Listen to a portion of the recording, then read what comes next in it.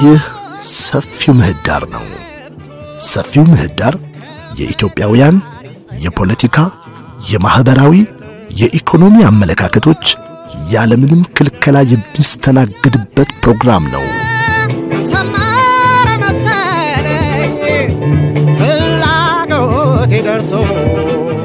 ይህ ሰፊው ምህዳር ነው። እኔ ምናልባት አሁን እርስዎ ሲናገሩ አንድም ነገር ትዝ ያለኝ ነገር አለ። የፖለቲካ ልሂቃንን፣ ምሁራንን፣ የታሪክ ምሁራንን አንድ ላይ አገናኝቶ የሚያወያይ ተቋም ነው የጠፋ ወይስ ምንድን ነው? ማለት ኢትዮጵያውያን በጻፉት መጽሐፍ የማይግባቡ ከሆነ በጻፉት የታሪክ መጽሐፍ የማይግባቡ ከሆነ ሌላ ዓለም ላይ ያሉ ሰዎች አይተው ታዝበው የጻፉት ነገር ላይ የተቀመጡ ታሪኮች ካሉ እሱን ታሪክ እንደ ማስረጃ የተለያዩ ታሪክ መቼም ታሪክ ሲጻፍ የራሱ የሆነ እንትን አለ፣ methodology አለው፣ ሳይንስ ነው ታሪክ እና በዚህ ሂደት ውስጥ አልፎ የሚያግባባ የሚያወያይ ነው ተቋም አለ። ግን በዚህ ዙሪያ ላይ እስቲ መጀመር ጥሩ። እኔ እኮ ብቀበሉም ባይቀበሉም ያልኩት ቢቀበሉ መልካም ነው፣ very good ግን እኝኝ ካሉ ምን ታደርጋለህ? የግድ ዋጠው አትልም። ሰውን ቢቀበሉ መልካም ነው፣ ያግባባል። ባይቀበሉም በሂደት ይሄ ጉዳይ it's not ምንድን ነው ይሄ ወደፊት እንዳንሄድ የሚያግደን አይደለም ማለት ነው። ታሪክ ነው፣ ታሪክ ነው። OK recognize አረጉ አላረጉ እሱ እዛው ቁጭ ብሎ የዛሬውን ታሪክ የዛሬ ላይ ቆመን ያለንበት ቦታ ላይ ሆነን ሌላ ስራ እንስራ ነው። ያንን ወደ ኋላ ትተን የሚቀበለው ይቀበላል። አብዛኛው ህዝብ ተጨቆንኩ፣ ተበደልኩ የሚለው ህዝብ የራሱን ታሪክ ያውቃል። እሱን ትተንለት ያ ድና የሚያደርገውንም ትተንለት ወደፊት እንሄድ ነው። አስፈላጊ ከሆነ ደግሞ እንግዲህ ያው መድረኮች አሉ፣ ይፈጠራሉ። አሁንም እየተፈጠሩ ነው። ልዩነቶቻችንና አንድነታችን ምንድን ነው? ባለፉት ታሪኮችም ምን አይነት ልዩነት አለን ብለን እየተወያየን ነው። ከአንዳንዶቹ ጋር ከአንዳንድ የፖለቲካ ድርጅቶች ጋር እንደዚህ አይነት ውይይቶች ተጀምረዋል እና በሌላም ጉዳይ እንደዚሁ እየተወያየን የሚፈቱትን የፈታን በጣም ጋፑ በጣም ሰፊ የሆኑት ልዩነቶችን ደግሞ ወደ ለሌላ ጊዜ እየተውን ስራችን የዛሬ ስራችንን ብንሰራ ወደፊት መራመድ እንችላለን የሚል ነው ያለኝ። እሺ እንግዲህ ሀገራዊ አንድነትን ለመፍጠር የታሪክ ጥያቄ ትልቅ ችግር ተደርጎ ነው አሁን የሚነገረው ያለው እና ታሪክን ማን ነው የጻፈው? ታሪክን የሚጽፈው ሰው እሱ በጻፈበት እሱ በተረዳው ሊያስተላልፍ በፈለገው መንገድ ነው ታሪክ የተጻፈው እስከ ዛሬ። አሁንም እየተሰራ ያለው እንደዛ ነው እና ብዙ ጊዜ የአሸናፊው ታሪክ የሀገር ታሪክ ይሆናል። አሁን ታሪክ ላይ ብዙ በደል የደረሰባቸው በደል ደርሶብናል የሚሉ የማህበረሰብ ክፍሎች አሉ እና ከአንዱ ጥያቄያቸው ያንን ሰው ይመንልን በደል ደርሶብናል፣ አንዱ ደግሞ አልደረሰም የሚል አለ። ያንን ደርሷል አልደረሰም በሚል ክርክር ልናድነው አንችልም። ሰው ማመን የሚፈልገው ማመን የሚፈልገውን ነው። ሁለቱም ያልኖሩበት ዘመን ላይ የተነገራቸውን ታሪክ ነው አሁን ላይ ይዘው መጥተው የሚያምኑት። እሺ በደል ደርሶብሃል ተብሎ ቢስማማሳ ልቡ ያንን ነገር ይቀበለዋል ወይ? ወደፊት የሚያራምድ ነገርን ያስባሉ ወይ? እና ትላንትና ላይ የተፈጠሩ በደሎችን ለማረም በምንሄደው ሂደት አሁን ትልቅ ችግር እየተፈጠረ ነው ያለው። አሁን ላይ እየተሰራ ያለ ታሪክሳ ቢሆን ምናልባት አንድ ነገር ላንሳና ልክ ነው ሰዎች ተሰርቷል አልተሰራም የሚል ነገር ሊያነሱ ይችላሉ። ምንም ጥያቄ የለውም። ግን አሁን እኔ እያነሳ ያለሁት ዛሬን አይደለም ነገን በአግባቡ መኖር ስላለብን ጉዳይ ነው እያነሳ ያለሁት እና ለምሳሌ ይሄ ታሪክ ተሰርቷል አልተሰራም በሚሉ ሰዎች ሰው እንደ ምርጫው ሊወስድ ይችላል። እንደ ምርጫው ወሰደ ማለት ግን መገደብ አይቻልም ማለት አይደለም። ለምሳሌ ልሂቃኖች ከተስማሙበት ይሄ ትክክል ነው ከታሪክ አንጻር ከብዙ ነገር አንጻር ተብሎ ከተቀመጠ ሕግ የሚቀመጥበት ነገር እኮ ይኖረዋል አይደለ? በዛ ታሪክ ውስጥ የተፈጸሙ ነገሮችን ብድግ አሁን እንደ መቀለጃ ማንሳት በሕግ የሚያስጠይቅባቸው ሁኔታዎች ሊፈጠሩ ይችላሉ። ስለዚህ ሰው ሲሆንለት ወዶ ወደ rhythm ይገባል። ካልወደደ ግን በህግ ወደ rhythm ገብቶ ሀገር ትቀጥላለች። ለምሳሌ አሁን ናዚ የሚለውን ስናይ symbol ኡን ሲጠቀሙ በህግ ነው አይደል የታገደው። ውሻውን ስሙን ናዚ ብሎ ማውጣት አይችልም። አሁን ጀርመን ሀገር ውስጥ ያስጠይቃል። ይሄ በምንድን ነው እንደዚህ ሆነው? በህግ ነው እንደዚህ ሆነው። ስለዚህ ትላንትናቸውን ትቶት ዛሬን ግን በተሻለ መንገድ ይሄ common መግባባት መፍጠር የሚለውን ሀሳብ ላይ ነው ለማንሳት ያሰብኩት። አዎ ልክ ነህ። ያንን ኮመን መግባባት ለመፍጠር ሁሉም እንደዚህ ተወጥሮ መፍትሄ ያለውን ነገር ማለት ነው ግጭት ሊፈጥር በሚችል ሁኔታ አይደለም ማድረግ ያለበት። ወይንም ጠረጴዛ ላይ ቁጭ ብለው ታሪኮቹ ማለት ነው ፊት ለፊት አንድ ሰፊ የሆነ ውይይት ያስፈልገናል። እዛ ላይ መተማመን ያስፈልጋል። እዛ ላይ መተማመን ካልቻሉ ግን ወደፊት የሚሄደውን የሚቀጥለውን ነገር ለማስቀጠል መጀመሪያ አሁን ይሄ ለምሳሌ የለውጥ ኃይል የተባለው መንግስት በመጣ ሰዓት ላይ ሁሉም ህዝብ ልቡን ሰጥቶ የተቀበለው ለምንድን ነው? የዛን ጊዜ ልዩነት ጠፍቶ ነበር ማለት ትችላለህ። almost ፍቅርና ይቅርታን ስለተነገረ ነው አደለ? ሰዋዊ ህጎች እኮ አሉ። ሰው እኮ ታሪኩ ብቻ አይደለም፣ ሌሎች ነገሮችም እኮ አሉት። ህብረተሰቡ መሀል ብትወርድ እኮ ታሪኩን ሲያወራና ታሪኩ ያሳደረበትን ተጽዕኖ ሲመልስ ወይ ሲከራከር አይደለም የሚውለው። ሌሎች ነገሮች አሉ። አንድ ቴምር ዛፍ ለምሳሌ ያህል ብዙ ጊዜ የሚነገር ነገር አለ። አንድ የሀምሳ ዓመት ሰው የቴምር ዛፍ ይተክላሉ። ያንን የቴምር ዛፍ በሚተክሉበት ሰዓት አንድ ወጣት ምን ይላቸዋል? ይሄ የቴምር ዛፍ መቼ ይደርስሎታል? የዛሬ ሀምሳ ዓመት እና የዛሬ ሀምሳ ዓመት እኮ እርሶ አይበሉትም ለምን ይተክላሉ ሲላቸው አሁን እኮ እኔ ቴምር እየበላሁኝ ያለሁት የዛሬ ሀምሳ ዓመት ሌሎቹ የተከሉትን ነው። ስለዚህ አሁን ላይ ያን ታሪክ ለማስታረቅ የተበላሹ ነገሮችን ህዝቦች በጣም እየተገፉ ነው። በዚህ አሁን እኛ በምንነጋገርበት ሰዓት ንብረታችሁን ጥላችሁ ውጡ እየተባሉ ነው ያሉት። አሁን አዲስ በደል እየተፈጸመ ነው ያለው። ተበዳይ በዳይ ወደ መሆን ከሚሄድ መልካም ነገሮችን በዚህ መሀል እኮ አሉ። መጥፎ ታሪኮች ብቻ አይደለም ያሉን፣ ያያያዙን፣ ያስተሳሰሩን፣ ያቆራኙን ጥሩ መልካም ነገሮች አሉ። ስለዚህ አሁን ቴምሩን እየበላን ያለ ነው፣ ባለፈው የተተከለልን ነው። አሁን እንደዚህ አብረን ቁጭ ብለን የተለያየ አመለካከት ኖሮን እንኳን ማለት ነው አይን ላይን እየተያየን በፈገግታ እያወራን በሰላም ልንቀመጥ ያስቻሉንና ያልነገርናቸው ሌላ ህብረተሰቡን የሚያስተሳስሩ የፍቅር የይቅርታና የሰላም ሰዋዊ የሆኑ መርሆች ውስጣችን አሉ ማለት ነው። እነዛን ለማደስ ለምን አንሄድም?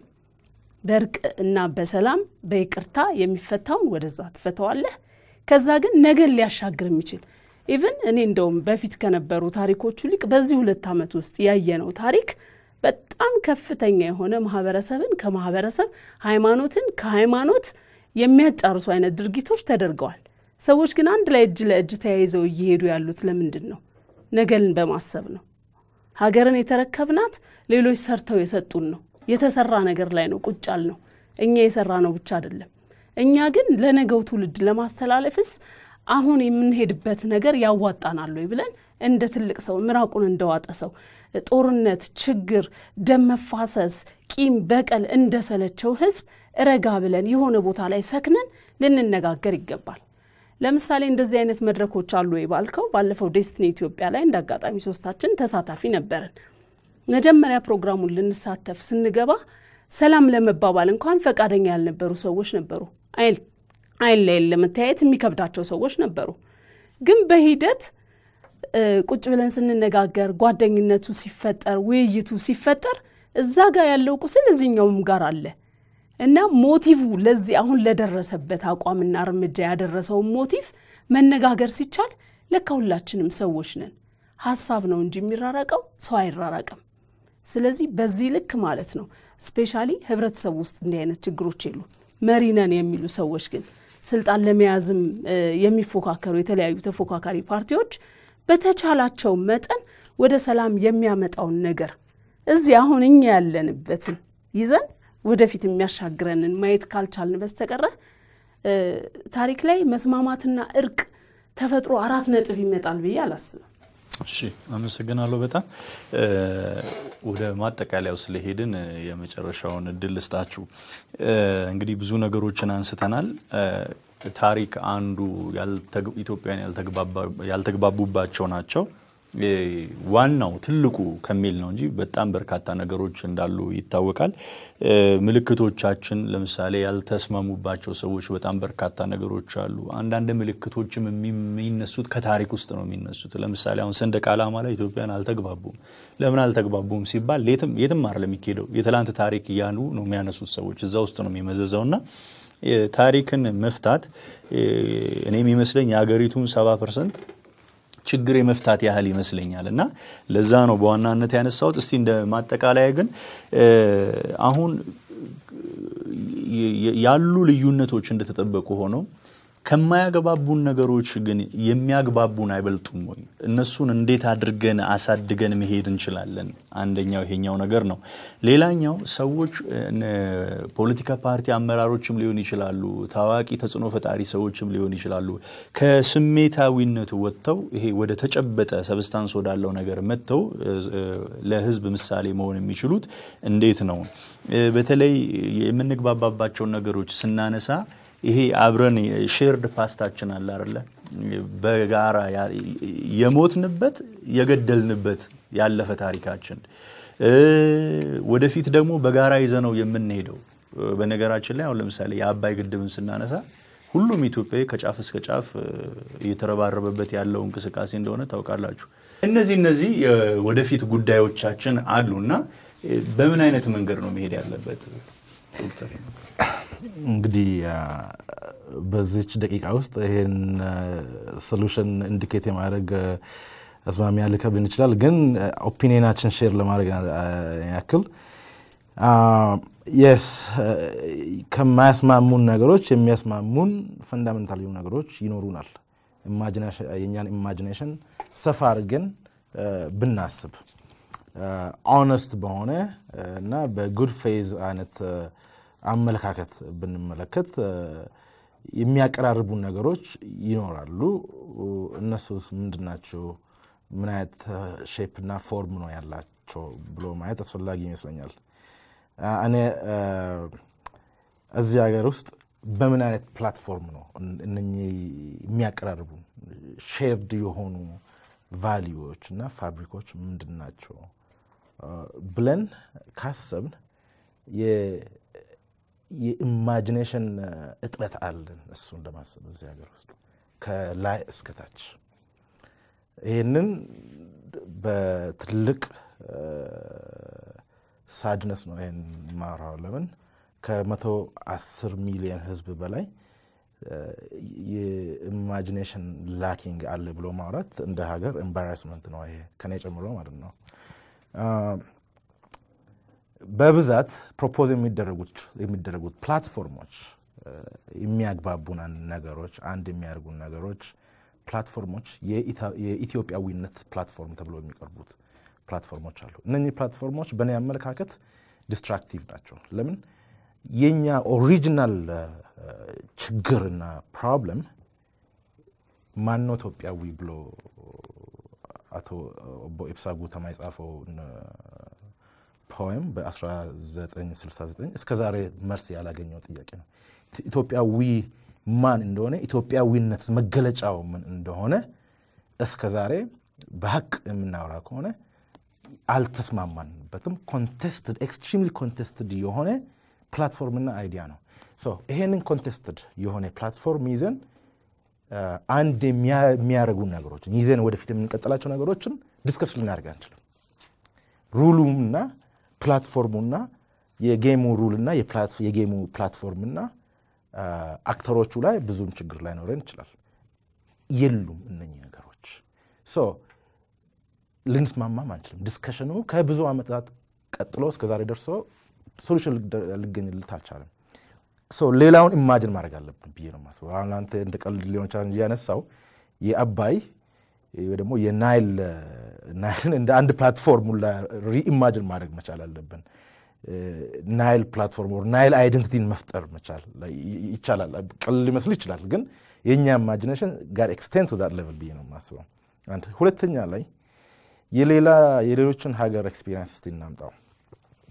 የሁለት ሀገር experience የአሜሪካንና የጀርመን መውሰድ ፈልጋለሁ። አሁን አሜሪካ ውስጥ ብዙ የ injustice ኦች በደሎች ይታያሉ። color based የሆኑ ማለት ነው፣ ጥቁርና ነጭ ማለት ሁለቱም ነጭና ጥቁር በአሜሪካነታቸው ወይ ደግሞ በአሜሪካዊ identity አይደራደሩም። ጥቁሩ አፍጋኒስታን ሄዶ ተዋግቶ ወይ ሞቶ ከተረፈም መጥቶ ሀገር ውስጥ በደል ይደርስበታል። በአሜሪካነቱ ግን አንድም ቀን ተደራድሮ አያውቅም። ነጮቹም አሜሪካዊነትን እንደ monopoly አልያዙት። ጥቁሮቹ እኩል ከነጮች አሜሪካንነት ወይ ደግሞ አሜሪካዊነትን enjoy አድርጎታል። እኛ ሀገር ውስጥ ግን የኢትዮጵያዊነት ባለቤት የተወሰነ group ብቻ ይመስላል። ሌላውን ሰጪና ከልካይ አንድ group ይመስላል። so የአሜሪካን example ያመጣሁበት ምክንያት በአሜሪካነታቸው መደራደር የሚችሉበትን platform ፈጥሮላቸዋል። እነ ማርቲን ሉተር ኪንግ እነ ማልኮም ኤክስ ራሳቸው በጣም militant የተባሉት በ American identity ወይ ደግሞ በ Americanism ብዙም shake አላረጉትም። በእርግጥ አልፎ የኔሽን ኦፍ እስላም የሚባል ሉዊስ ፋረካን አሁን በጣም radical የሆነ proposal ኦችን ሊታዩ ይችላሉ። ግን አንድ example መውሰድ እንችላለን። ሁለተኛ በጀርመን በዚህ ሀገር ውስጥ practical ሊሆን የሚችል አይነት አንዳንድ ነገሮችን አያለው። የ constitutional patriotism constitutional patriotism ወይ ደግሞ የህገ መንግስታዊ አርበኝነት አሁ ነው አማርኛው ትክክለኛ translation እንደሆነ አላቅም። የህገ መንግስት አርበኝነትን መፍጠር እንደ አንድ identity ብሎ ሌንጮ ለታ የጻፈውን ጽሁፍ ነበረ። እሱም ያመጣውን ይህን idea ጀርመኖች ከናዚ በኋላ ወይ ደግሞ ከሁለተኛ ዓለም ጦርነት በኋላ ኃይለኛ national crisis ውስጥ ነው የገቡት። ወደ አምስት ሚሊየን Jew ዎችን ከጨፈጨፉ በኋላ ምን አይነት ስብዕና ነው ያለን? በምን አይነት ነገር ነው የምንስማማው? ምንድን ነው አንድ ላይ ያደርገን የሚችል የሚል exploration ላይ የ national identity ያቸው crisis ውስጥ ገባ። ምንድን ነው ያደርጉት? አዲስ ህገ መንግስት 1945 ውስጥ draft ያደርጉት አንደኛው አንቀጽ ላይ ማንኛውም ሰው ስብዕና አለው እንደ መብት human dignity እንደ መብት መታየት መቻል አለበት። ናዚም ሁን Jew ም ሁን የፈለግከውን ብትሆን ይሄ ሊያስማማን ይገባል ስብዕና የሚል human dignity የካቶሊክ አይነት philosophy ሊመስል ይችላል። ግን ህገ መንግስቱ ውስጥ ሁላችንም we gotta be proud of constitution ወይ ደግሞ በህገ መንግስቱ ዙሪያ እንደ rally platform ልናደርግ እንችላለን ብሎ ተስማሙ። constitutional patriotism ማለት ወይ ደግሞ የህገ መንግስት አርበኝነት ማለት ከዛ የመነጨ ነው። አሁን ጀርመንነት ወይ ደግሞ ጀርመን በህገ መንግስቱ ነው የሚገለጸው እንጂ በምግብ በልብስ ወይ ደግሞ በሂትለር አይደለም። አሁን እዚህ ኢትዮጵያ ውስጥ ኢትዮጵያዊነት የሚገለጸው በምኒልክ በኃይለ ሥላሴ በምናምን ሊነገረን ይችላል። which is completely disastrous የሆነ narrative ማለት ነው። ጀርመኖች ይህንን ስለሚያውቁ ሂትለር ለአንዱ hero ሊሆን ይችላል፣ ለሌላው ግን የጥፋት ኃይል ሊሆን ይችላል። ስለዚህ contested ስለሆነ አዲስ platform አዲስ የ discussion መድረክን ፈጠሩት። አንድ የሚያደርጋቸው ህገ መንግስት የሚያስማማቸው ህገ መንግስት ፈጠሩት። constitutional patriotism የሚባል ይሄ ነው። በእኛ ሀገር ውስጥ I think defective ቢሆንም ያለነው የ constitutional document ኦች ወይ ደግሞ የ constitutional instrument ኦች defective ቢሆኑም ከግራ እስከ ቀኝ እና እስከ መሀል ላሉት spectrum political spectrum የሚከተሉት ሰዎች እንደ አዲስ platform አድርጎ ሊያከራክረን አንድ ላይ ሊያመጣን ይችላል። ይህንን ነው ወደፊት ይዘን መዝለቅ ያለብን ብዬ ነው የማስበው። መጨረሻ ላይ አንድ ነገር ብዬ ልዘጋል እፈልጋለሁ። ይሄንን platform እንዴት more visible እናድርገው፣ እንዴት promote እናድርገው የሚል ላይ renewed የሆነ discussion ያስፈልጋሉ። ለምሳሌ አንድ ምሳሌ ላነሳልህ እፈልጋለሁ። 2014 በፈረንጅ አቆጣጠር አንድ campaign ውስጥ ተሳትፎ የነበረ የ boycott በደሌ የሚባል የብላቴናው ቴዲ አፍሮ ዘፈን ከበደሌ ከሃይኒከን company ጋር የ54 ሚሊዮን ኮንትራት ተፈራርሞ የፍቅር ጉዞ ብሎ የተለያዩ የኦሮሚያ ከተሞች ኦሮሚያ ከተሞች ላይ ብቻ ዘፈን ለማቅረብ የፍቅር ጉዞ ብሎ ማለት ነው። አሁን ይሄ ችግር የለውም። ፍቅርን የሚሰብክ ዘፋኝ ወይ አርቲስት promote ሊደረግ ይገባል፣ ሊበረታታ ይገባል። ህዝቡን አንድ ላይ ፍቅርን የሚሰብክ ከሆነ አሁን ግን ቁጭ ብለን ስናስብ ከአኖሌ አጠገብ ድሬዳዋ ላይ ኮንሰርቱን ምኒልክን እንደ ፈዋሽና እንደ glorious መሪ አድርጎ ከአኖሌ አምስት ኪሎ ሜትር ወይ ደግሞ አምስት ማይል በማይሆን ከተማ ላይ ዘፈን ወይ ኮንሰርት አዘጋጅቶ ፍቅርን ነው እየሰበኩ ማለት አይችልም። ከዛ ማድረግ የነበረብን with group of friends ያን boycott በደሌን አቋቁመን ኮንትራቱን መሰረዝ ነበረበት የ53 ሚሊዮን እንትን አሁን ቴዲ ፍቅር እንዲሰብክ ሁላችንም የራሳችን ጥረት እናደርገዋለን። ፍቅርን የምትሰብከው ግን ወደኋላ ተመልሰህ contested የሆኑ controversial የሆኑ figure ኦችን በማንሳት ሳይሆን ለነሱ የራስ opinion ሊኖር ይችላል። ምኒልክ ለማንኛውም ሰው የራስ በራስ opinion መሪ ወይ ደግሞ glorious እንትን ቢሆን እኔ ተቃውሞ የለኝም። ግን እንደ national narrative ይሄንን own አታደርጉም። national ownership አትሰጠውም። ወደ ፍቅር ጉዞ የሚለውን ወደፊት ሳቢዎቹን አምጥቶ ቴዲ ኦሮሞና አማራ ሰባ percent የሚሆን የዚህ ሀገር ሰባ percent የሚሆን population ምንድን ነው ሊያገናኝ የሚችለው? ላለፉት ዓመታት ምኒልክ divisive figure ነበረ እንጂ የሚያገናኝ figure አልነበረም። ስለዚህ የፍቅር ተምሳሌት ሊሆን አይችልም። so ይሄንን boycott በደሌ ያመጣሁበት ምክንያት ምንድን ነው? የበለጠ destructive የሆነ የ social fabric ኡን የሚበታትን አይነት አዝማሚያ ነበር ቴዲ የሚፈጥረው ዛኔ እንጂ የፍቅር ጉዞም አልነበረም። በእርግጥ ፍቅርን የሚፈልግ አካል ቀረብ ብለህ ይቅርታ በመጠየቅ ከዚህ በኋላ ይሄ ነገር repeat እንዳይደረግ እናንተም guarantee ስጡን፣ እኛም ደግሞ ያለፈው አልፎ ወደፊት እናስባለን ነው እንጂ discussion መሆን ያለበት ምኒልክን ተቀበል እንደ idol ወይ ደግሞ እንደ figure በማለት አይደለም የይቅርታ ጉዞ። ይህንን በ constitutional patriotism ቅድም ባልኩት context ብናመጣ እኔ በእኔ በኩል ይህችን ሀገር ከቦረና እስከ ጎንደር ከባህር ዳር እስከ ሶማሌ ክልል ሊያገናኝ የሚችል idea እና platform እና መድረክ actor ኦቹ ላይ based መሆን የለበትም። actor ኦቹ ማለት የፖለቲካ ተዋናይ የነበሩት ሰዎች ሳይሆን የ idea discussion የ idea connection ያስፈልጉናል። ይሄ idea connection ምንድን ናቸው? ቅድም እንዳልኩ የ constitutional patriotism ማንም ሰው dignified የሆነ identity እንዳለው እዚህ ሀገር አንተ ኢትዮጵያዊ ከሆንክ እንደ ኢትዮጵያዊ መቅረብ ትችላለህ table ላይ። አንዱ ኦሮሞ ከሆነ እንደ ኦሮሞነቱ መቅረብ ይችላል። ማንም ለማንም ማንነትን ሰጠው መቀበል የማይችልበት መድረክ ቢፈጠር ሊያስማማን ይችላል ብዬ አስባለሁ። አሁን የጠፋው ማን ራሱ ከማን ጋር ይነጋገር። አንዱ አይደለም ኢትዮጵያዊ ነህ ይላል፣ ሌላው አይደለም ኢትዮጵያዊ አይደለም ኦሮሞ ነህ ይላል። ሩሉም የለንም፣ መድረኩም የለንም። አዲስ መድረኮችን ሪኢማጅን ማድረግ አለብን ብዬ ነው የማስበው። ተመልካቾቻችን ከሰላም ጋር የተገናኘ ውይይታችን አሁንም እንደቀጠለ ነው። ከአፍታ ቆይታ በኋላ ተመልሰን እንገናኛለን። ይህ ሰፊው ምህዳር ነው።